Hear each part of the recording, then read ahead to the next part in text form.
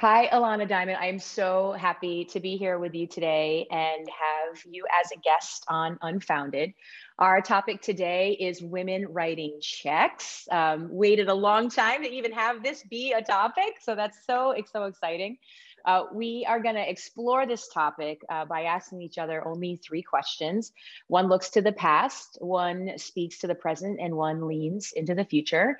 And as you know, the third question, the one about the future, that's the wild card. We have not shared this question with each other in advance. Um, and uh, and as you also know, no formal bios on this show.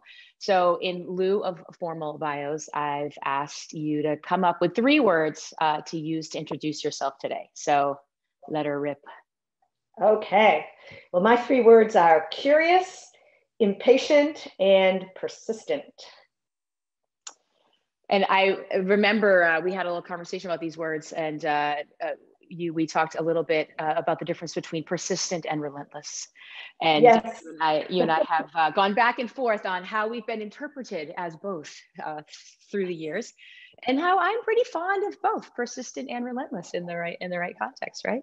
Uh, so mm-hmm. anybody uh, uh, listening or watching today, if you want to learn more about Ilana's incredible career uh, as an entrepreneur, as a mentor, as an investor, uh, you can read about it uh, in the show notes. So women writing checks, here we go.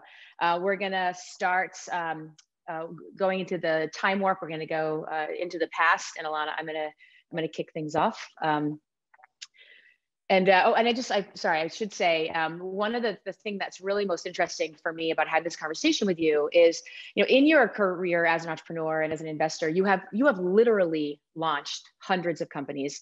And and i say launched i mean held them at the launch pad and tossed them into space. And now uh, at the helm of uh, four at 412 venture fund i mean you've really um, progressed uh, the way that you're working with companies to a new level. And i just can't think of anybody else i'd rather have this conversation with today.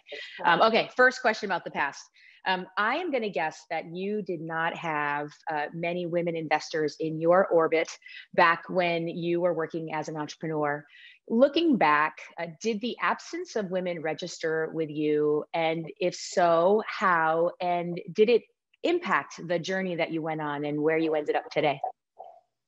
So I would say definitely it impacted me because not only uh, did I not have women as investors, I didn't have investors who had invested in women or who had an interest in investing in women. So my team got a lot of questions from investors like, and this is a quote, so who really runs the company? uh, and I think that experience was really the impetus um, for me to want to learn about VC investing after I sold my company. I'd never met a female investor while I was raising, and I got a lot of very uncomfortable offers that didn't include funding.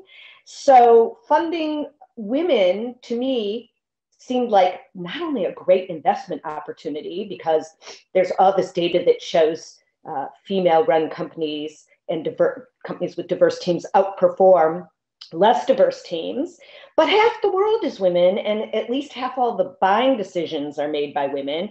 So in an industry like vc where we say we want to invest in founders who are passionate about the problems they're solving and who have first hand experience with those problems, female founders solving problems that they personally experienced just seemed like this incredible investment opportunity. And then there was the whole creating change piece because by becoming a VC, we get to influence what problems get solved and what products get made. And that just struck me as a really direct and concrete way to create change.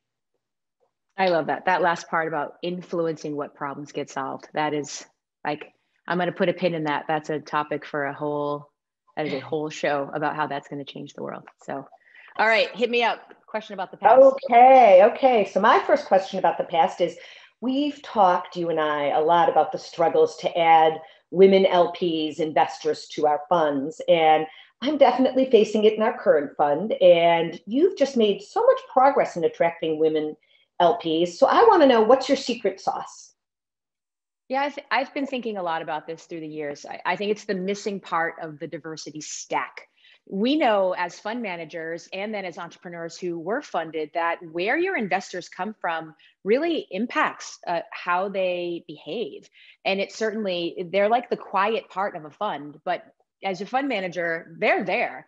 And so if you leave that part of the diversity stack unchecked, I think we're just we're never going to get all the we're never going to get all the way. Uh, and I looked at my fund, and while I love my investors through the years, uh, they were all, all of them um, older men, white white men.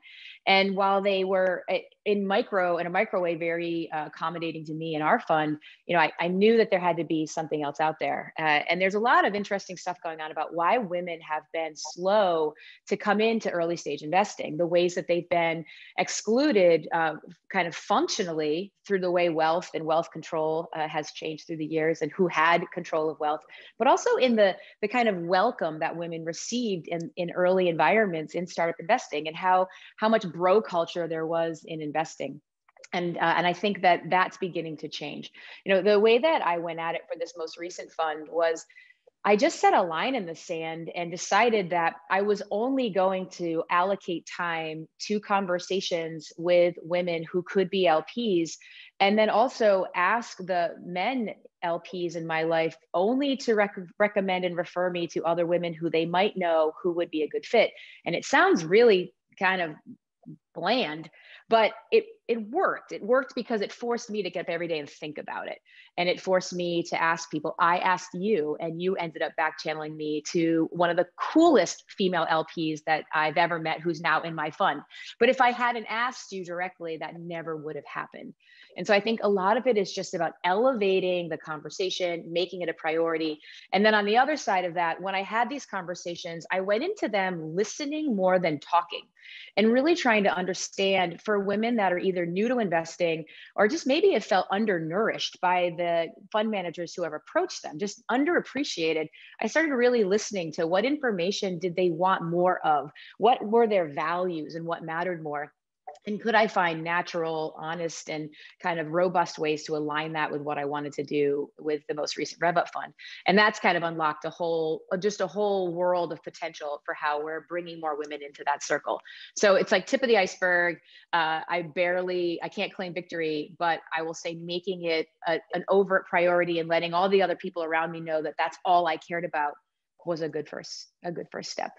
So, all right, we're in the present now, present day, terra firma, here we are. Um, as somebody who has, again, seen, I mean, to, to help as many companies as you've had, the multiple of companies that you've had to look at, I mean, it's outrageous, right? Like, so to help 200 companies, you've looked at like 20,000 companies, and that's independent from all the work that you've done, just even in, in the Pittsburgh ecosystem and beyond. But um, given all of that, you know what's one quality you must see in a founder to get truly excited about investing? And and i'd be curious if that's changed at all as your own perceptions about the, the about your role as a female fund manager has changed. Well, that's a really good question. Um, i'd say that the one quality if there's just one that i look for i'd say it's humility. And what i mean by that is knowing what you know and knowing what you don't know and not being shy about asking for and getting helps that isn't your strength. You know, the biggest fails that I've seen from companies are um, founders who just couldn't admit when they needed help. And the best CEOs that I've seen are the ones who knew when it was time to ask for help. And I guess the way that I kind of look for that is you can even tell that in your first few meetings when they're pitching. You know, a founder that says, I don't know the answer to that, but I'll check and I'll get back to you. Or you ask a question and they throw the answer to one of their teammates who they say, you know, knows more about that and acknowledges that that person is an expert on that topic. They don't need to be the expert on every topic.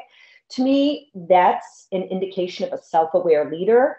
And that is um, one of the most important qualities in a leader. And as we all know, it's really all about team when you're funding a company. I mean, a great idea with a mediocre team or a not self aware team can just fall apart. But even just an okay idea with the right team, a strong team, you know, they can figure out where the weaknesses are, fix them, and turn that into a great company. So we're really looking for folks who understand what they know and what they don't know, who know. Um, I, you know, if somebody says to me, I'm going to be the right person to run this company until XYZ, and then I think it'll be time maybe to bring someone else in if I haven't grown into that role, and I would take this other role. People who are just self aware and who are more, they're humble about it and they're more concerned with the success of the company and their team than they are with proving they're the smartest person in the room, even though many of them really are the smartest person in the room. So yeah. that's what I'd say. And in terms of changing, yes, I think it did change. I think uh, earlier in my career, I was more influenced by you know how smooth the pitch was and how self-assured you know the founder was. And i realized at some point that a some of that's just training. You know you went to a place where they taught you how to do that whether it's an accelerator or you know a school with an entrepreneurship program. So some of it was could just be trained.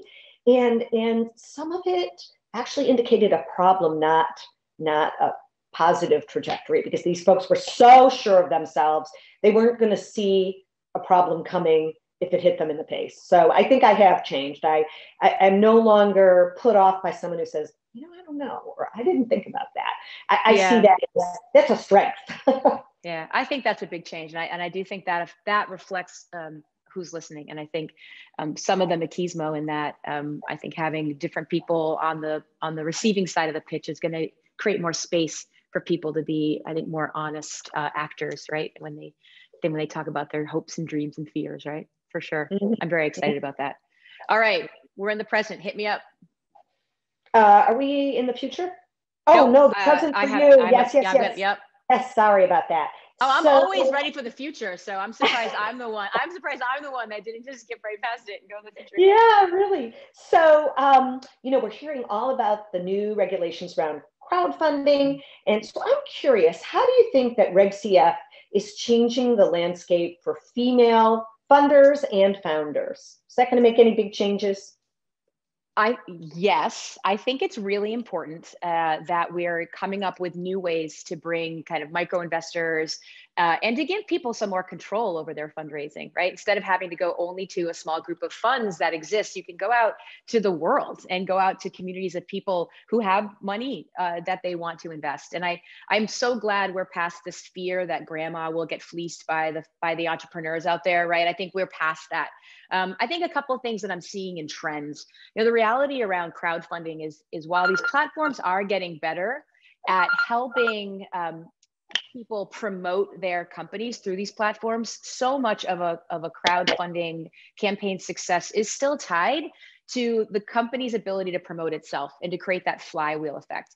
And so when you see a lot of the successful campaigns, um, they're run by people who have some access to networks of privilege that they can activate around their campaigns. So in some ways, the first the first beneficiaries of these platforms have been those who are already benefiting from the, the system at large. And so I think what we're what we're seeing now is an attempt to kind of democratize those platforms and recognize that the amplification and the promotion of the opportunities is as important as the qualities uh, the quality of, of that. And so i think we have a lot of work to do uh, to not just expect that because of anyone can get on a platform that everyone will be served on a platform and i think you'll see that many of the architects of these platforms you know were not themselves coming from diverse backgrounds. They were run by guys who were frustrated by venture and they wanted to make more money than they could uh, running the funds that they were running.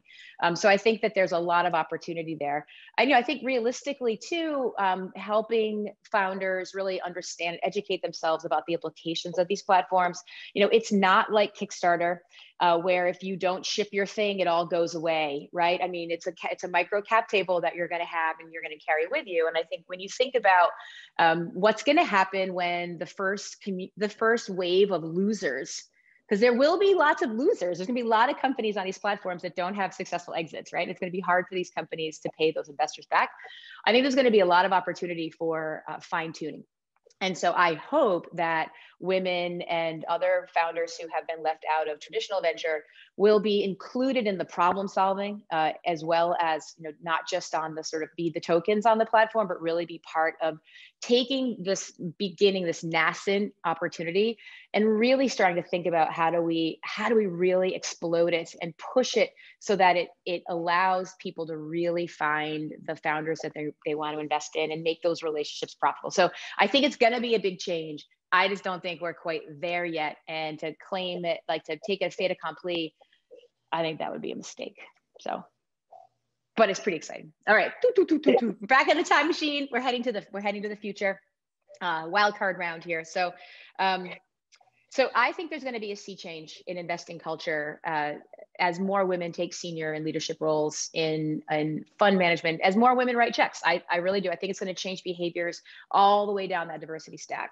Um, and you're going to be a big part of that. Uh, what do you want your mark on this moment to be? And I guess like in another way of saying, what do you want what do you want most to bequeath to this next generation? And if there's something that you can change or secure for this next generation of founders, what would you like it to be? So I guess it would be to have a broader lens on what um, what a founder looks like, what a CEO behaves like, what kind of um, what kind of answers we expect from folks. I think that we, you know, by having um, male, mostly white uh, VCs for so many years, there's been this pattern matching, right? So folks were looking for founders who looked like the founders who had made them a lot of money in the past. And for the most part, those were relatively young, they were white, they were male, and they behaved a certain way. And, and, and maybe that gets to the point that I was making before about humility as well. You know, humility was not a valued quality, right? It was, you know, I know what I'm doing. I've, I've got this. I'm going to rock this. We're, you know, don't admit any weakness ever. Don't admit how you feel, not to your funders, not to the people you're pitching to, not to your employees. So I guess what I'd like to do is broaden that lens of what makes a good leader. And um, honestly, this is something that I thought a lot about when I became the CEO of my company, Sima Products. I before that I'd worked for a consulting firm where you know if you're a woman you didn't have a picture of your family on your desk and you you know if you needed to do something for your family you know you would make up some excuse like I've got a doctor's appointment or whatever it was it wasn't yeah. something around you being a woman. And when I took over as CEO, I remember making a conscious decision that I was going to say this to all our employees. I have a parent teacher conference. My child has a doctor's appointment. And the point was to say that kind of behavior, caring about my family, having a family, also mm-hmm. having a career, you know, didn't make me a less effective leader or CEO. And I want us, uh, you know, and, and that's just one piece in being able to see people as full people and being able to see CEOs in all different shapes, sizes, heights, colors, genders, and uh, asking yourself as a, an investor when somebody's pitching to you and, and maybe they don't fit exactly what you're used to seeing as a as a founder or a CEO saying to yourself, is that my bias? Is that something that you know really affects their ability to be an effective leader? Or is that just something I'm not used to seeing? And having explicit discussions about that with your you know other partners and we do at 412 venture fund. We'll ask ourselves you know the way that person pitched was unusual. And let's talk about how that affected us. Is that a bias we have? Or is it really something that we should be paying attention to about their ability to lead as a, as a founder? So that's one of the marks I'd like to make. I'd like the folks who work with me to see me asking myself those questions and see me admitting you know, my own biases and trying to make them explicit and discuss them and have them do the same so that we can yeah. have a wider range of founders. Yeah, there isn't one type of successful CEO. It's all about the right match, right? Right company, right mm-hmm. founder, right leader, right team. Yeah, I love that. I love that. Yeah. All right, take us to the home finish here, home stretch. Yes. So you talked a lot about the things that you had learned and done to attract more women to your fund. And some of it was about listening. And I'm wondering, are there also structural things? Because one of the things we found is even when we're well meaning and we have goals, sometimes there are structural, um, sort of historical ways that funds are um, set up or that we that we uh, set limits for who can be a limited partner or what we require of a limited partner or what we do for a limited partner or how we get limited partners. And I'm wondering, are there structural things that we could change as VCs and as managing partners of VCs that would make our funds more comfortable for women, um, more attractive for women, and easier as an investment for women? Yes, yes, and yes. Um, I've learned a lot from um, I, I, work with a woman named Sylvia Sylvia Kwan, who's the um, VP of investment for Ellevest, which is a wealth management platform for women, and uh, she educated me on the changes they've made structurally to make it better for women to invest uh, themselves into their wealth management platform. And I learned a lot from that. Um, there are so many different considerations that women have when they when they finally have enough capital to invest. They don't look like the men who came before them. The, hmm. and don't they don't look like them in so many ways. I think there's been so much patterning around men of a certain age have this risk profile and all wealth management and all investment tolerances and it, that's and all the funds kind of patterned off that women mm-hmm. are coming to the party uh, with pent up demand a whole different experience and a whole different set of expectations again uh, across the spectrum there's no one woman investor around what they want the ROI on that investment to be, uh, what impact they want that investment to have beyond their own wealth creation, what role they want to have in um, like a visibility that they want to have into what the overall outcomes of the fund are and how they want to experience that that are as as robust as their male counterparts are, but they don't pattern match exactly the same. And so there are things from when you have minimums, right? Those are real considerations. If you want to bring younger women into your fund, they may not be able to make a hundred or two hundred thousand dollar minimum, right? Now, of course, you may not want to lower that because the headache of managing all that might not might be too much. But you can start to think about allowing women to pair up uh, to make their own syndicates, uh, which is something that we've done in order to keep our minimums in a place where the management of it makes sense. And it's also not disprivileging other investors that are coming in at higher numbers, allowing them to team up to uh, so maybe they can't afford you know all the units but they can create their own syndicates and come in that way but i think the biggest shift is really recognizing that women across many different age groups are really thinking about return on investment differently than the men who came into startup investing before them. And they're it's and it's not to say that all women care about, you know, impact or triple bottom line, but there is a very large generation of women now that have enough money to invest. They want to invest in entrepreneurship but they want to do so in a way that really is paying it forward and either paying it forward by investing into organizations or businesses that impact the world in ways they care about or investing into founders that they that resonate with them either first time founders immigrant women second tier geographies and if if funds just don't have really creative compelling transparent ways to, to offer that it's really off-putting to these women investors and they just they don't have time uh, for it. So I think that's been something structurally, uh, as well as from a narrative standpoint, that's made a huge difference. Now the good news is, is I think uh, we're at the beginning of this new generation of women fund managers, and I think we as fund managers are already redefining ROI and redefining our expectations for investor engagement and behavior. So I think we're we're sort of arriving at the same place at the same time, but there's a huge amount of education that we need to do as first generation fund managers to make all those structural elements transparent, to make them easy to understand. And just don't assume that a, a new female LP comes to the party with all that kind of uh, informal training that that your male investors may have had from just being around other angel investors or being around other uh, entrepreneurs. And I found just simple opportunities to explain things um, uh, thoughtfully uh, and not to be kind of almost don't be that founder you were talking about where I just bloviate about you know the what the IRR is and what the you know just and instead talk a little bit about the thesis the philosophy the people behind the fund the operating um, uh, realities of that and the kinds of founders that we're interested in. I found just structurally making that more accommodating and i think more flexible made a huge difference. And so i do think that there it's it's narrative and it's structural. And if we really want to go fast then yeah we have to think about um, things like liquidity and portfolio balancing in very different ways uh, than we did when we just wanted to go and find 10 guys who could write $200,000 checks because they made a ton of money on a, uh, you know, exiting their company, you know, 10 years ago. These women are aggregating wealth in different ways at different paces. And there's just a huge opportunity to integrate them, but only if we integrate them in ways that I think are um, honestly aligned with where they're at and what they're looking for. That makes a lot of sense to me. And I really yeah. like the idea of letting them, you know, uh, come together and invest together. I think I think that's something that will appeal to women. You know, they love you know they could do it together with friends Yeah. in some way and it, it's comforting i think to have other people to lean on when you're doing something for the first time Yeah, whether- we yeah, woman, it made it yes.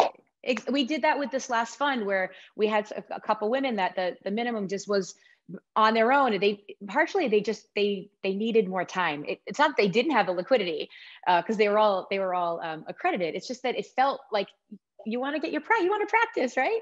Uh, and and it they it was it was just sensible for all of us to allow them to group together, right? And I think that again, there's no one female behavior, and there I know women LPs who would hate that. They don't want anyone else to know about what they're doing, right? So again, I don't. I, it's not to like go back in time and start, you know, creating monoliths of female experience. But I can tell you that these are real persona, um, and and it was really fun to be a part of that, and to realize like that I could do it. Like I could break the rules for them and make it happen because they're my rules and I get to write them now. So that was kind of awesome. Like I was pretty happy about that. So honestly when i was younger if that had been a, um, a possibility i had a group of female ceos that i used to meet with and you know we would just support one another i think it's something we would have done so kudos to you for coming up with it you know, I'm not sure I came up with it as much as I just happened to be there when somebody just asked that they could do it. and I was like, great, I think you can. But we should let's make it into something, right? So all right, Yeah. well, that's it. We we journey through the topic of women investing in women with our questions, um, and I can't uh, thank you again. Hey, is four one two? Uh, is that like a Pittsburgh area code? It is. It is. Okay, I had a feeling. all right all right because you know how i feel about i feel about pittsburgh. Um, well thank you again. Thank you for all of your thoughtfulness your mentorship your guidance and i'm so excited uh, to know that more and more women fund managers are going to be uh, modeling themselves after you in the years to come. I s and and i think we're really we're really really lucky to have you now um, running this venture fund. So i'm so excited to see what you you and your partners do with this fund. So thank you so much. well thank you thank you for having me and you know that you're one of my role models here so you were doing it before me and i i feel like i've learned so much from you so You're thank you.